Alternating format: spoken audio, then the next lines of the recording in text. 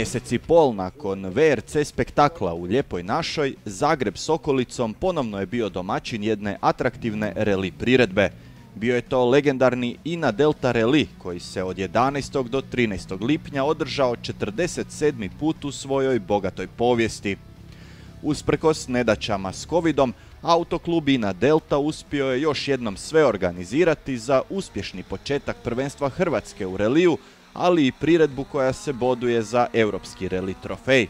Do sada je sve teklo ok, uspjeli smo se pripremiti za ovu situaciju, kao što vidite ogradili smo servis, poduzeli smo dosta mjera, bilo je napeto, ali evo tu smo i idemo. Jasno da nije pandemije i mjera, u Zagreb bi stiglo mnogo više stranih posada, no i ovako je odaziv natjecatelja bio vrlo dobar. Imamo 57 posada na startnoj listi iz pet zemalja plus Hrvatska. Desetak stranih posada iz šest europskih zemalja, dakle inače je to bilo bar 30 u normalnim okolnostima. Oni ovaj reli rado dolaze voziti, tu ima nekoliko slovenskih posada, iako nije slovensko prvenstvo. Nije slovensko, što je prema prvotnom planu trebalo biti, no zato su naše posade prvi put u 2021. krenule u lov na skupljanje bodova za prvenstvo Hrvatske. Prema aktualnom kalendaru sezona bi trebala brojiti pet natjecanja, još dva u Hrvatskoj te dva u susjednoj Sloveniji. Prije nego su se uputile na start prvog brzinca sezone, posade su trebale odraditi ceremonijalni start u blizini parka vozača, kojemu su nazočili predstavnici Hrvatskog auto i karting saveza, grada Zagreba te generalnog sponzora INE. Dojmovi su odlični, nije lako održati u ovako teško vrijeme ovako veliko natjecanje i ovako jedno veliko e, nasljeđe, jer to je 47. 47. izdanje ovog relija i mogu još jednom reći da bez ovog relija ne bi bilo ni VRC-a i jednostavno ovo je e, jako velik događaj i za Hrvatsku, i za hrvatski sport, a i za grad Zagreb i zato me veseli da se i dalje pojavljuje jako velik broj posada. E, naravno, ovo je vrijeme e, u kojem nema baš previše sponzora, zato evo, zahvaljujem i INI koja je prepoznala i podržava ovo natjecanje već dugi niz godina. Želim da utrke prođu bez udesa i e, već se okrećemo sljedeće godine.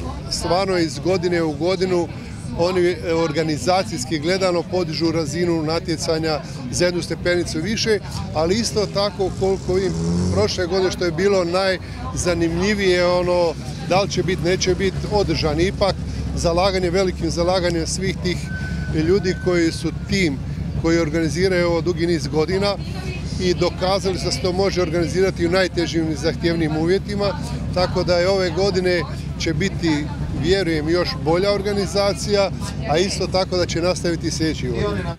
Za ovo natjecanje svakako još treba napomenuti da je nosilo naziv Memorial Berislav Čegelj, u spomen na bivšeg predsjednika autokluba Ina Delta.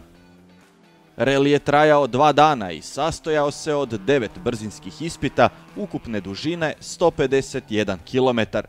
Tri su se ispita vozila u subotu poslje podne i navečer, a preostali tijekom nedjelje. Sve je krenulo uličnim brzincem kod zgrade INE u Zagrebu. Prvi dan je već ogroman izazov pred njima, to je brzinski ispit od Repišća pa do Prodin Dola koji tamo stanuje, znači gdje se to nalazi. Brzinski ispit 17,5 km, cesta vrlo uska, sa mnogo skokova, prevoja, zavoja i oni koji tamo naprave dobar rezultat imat će sutra odličan start. A Sljeme je poseban izazov, naročito njegov dio prema e, Šestinskom Lagviću, nizbrdo, ko tamo ima više hrabrosti, iskustva i znanja, taj će tamo napraviti određenu prednost. Ina Delta Reli je težak od početka do kraja. Sljeme je već dosta poznata dionica, brzinac u Jaski je novi, zahtjevan je, tehnički zahtjevan. Mislim da može biti zadovoljan svatko ko dođe sutra do cilja. Prvi brzinac, pravi brzinac Jaska je muški, a onda sutra, sutra će biti interesantno, sutra je staro sljeme. Šebalj je ovoga puta nastupio s novim automobilom, bila je to premijera za Toyota Yaris GR. Vozim se novim automobilom, koji evo baš sad tu slučajno nema u kadru. E, još ima nekoliko komponenta koje moramo završiti zbog korone nije sve do kraja gotovo, tako da e, ću biti nešto sporiji. Samo doći do cilja, u ovom trenutku razvijamo automobil i ne pucam na nikakve velike rezultate, razvijamo auto do kraja. U vrhu poredka za prvenstvo Hrvatske očekivalo se posadu prodan Raštegorac s Ford Fiestom Rally 4 dok su glavni kandidati za ukupnu pobjedu bile posade Turk Ošlaj iz Slovenije s Hyundaijem i20 R5 te Kovač Istović iz Mađarske s Ford Fiestom R5. Nažalost, Mađari su trajali dosta kratko. Završili su svoj nastup već na jaskanskim brzincima prvog dana, dok su Turki Ošlaj od samog početka nametnuli žestoki tempo i nizali izvrsna vremena iz brzinca u brzinac. Tako su i došli do uvjerljive pobjede na 47. i na Delta Reliju. Druga je to pobjeda u Zagrebu za Roka Turka. Na pobjedničkom postolju našli su se još jedna slovenska i jedna hrvatska posada. Grossi i Berlot s Peugeotom 208 Rally 4 osvojili su drugo, a prodani Raštegorac u svojoj fijesti treće mjesto generalke te pobjedom krenuli u sezonu prvenstva Hrvatske. Četvrto mjesto u generalnom plasmanu pripalo je posadi Lončarić Vojvodić sa Subaru Imprecom, a pet najboljih kompletirala je posada Štefan Vihtora iz Češke s Peugeotom 208 Rally 4. Što se ukupnog poredka prvenstva Hrvatske tiče, poredak nakon prvog natjecanja je Prodan Raštegorac, Ravenščak Tomašković, Kramer Kvik. Klubski u vodstvu je Autoklub Opatija Motorsport.